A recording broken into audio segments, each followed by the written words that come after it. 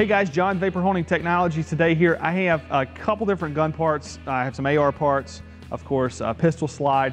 And the point of this video is to show the gun manufacturers in the world or the aftermarket guys who are making parts for these guns um, how you can use the vapor honing process. Traditionally, dry blasting has been pushed and promoted obviously for many, many years. Um, a lot of you gun guys are suffering right now because you have no good process for your machining, uh, your post-processing of your machine parts, specifically in this gun market.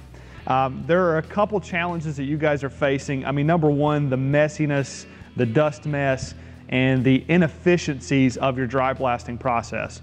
Um, let's face it, these machines all suck. If you guys say that there is a great dry blast machine, um, you're gonna have a really tough time convincing me and you need to show me because I've seen a lot.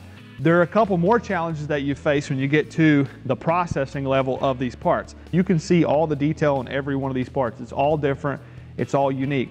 So the detail of the part, which means the consistency is gonna suffer in a dry blast system because you're spraying like a pencil fine spray of abrasive versus back here behind us, we're spraying something like a garden hose with abrasive mixed in. So obviously if water can flow, around this part, the abrasive can follow it. So you're gonna get every nook and cranny of the part. After that, you have different material types. So you're blasting steel, stainless steel, aluminum. Um, those are a couple materials that you're gonna be processing and you're gonna be trying to do something different with possibly each material or you could be doing the same thing, it's just a different material that you're blasting.